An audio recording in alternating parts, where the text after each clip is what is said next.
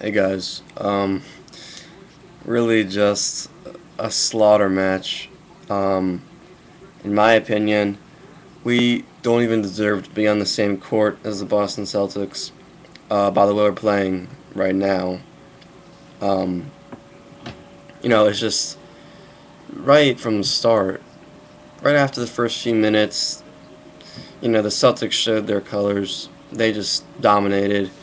Um, I really didn't have too high hopes going into this game. You know, the Celtics, they they will be at least in the Eastern Conference uh, championship. If not, they'll be in the finals. I'm sure of that. Um, you know, Paul Pierce, great game, 26 points. Rondo had a double double. Um, Jamison near double double, one rebound away. Um, you know, Nick Young had a pretty good game. He had 15 points. Uh, Butler, first game back from the two or three game injury. He had uh, eight points, four rebounds, five assists. You know, so just, I mean, just terrible. Um, something else I wanted to talk about. Um,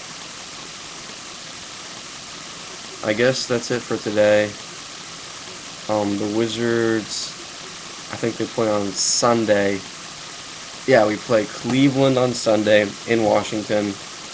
Uh, you know, a rivalry game. So this is going to be, uh, you know, a big game as usual. Uh, we we really almost beat Cleveland last time. We were really close. So we'll definitely look to beat him this time. And until then, Wizards man out.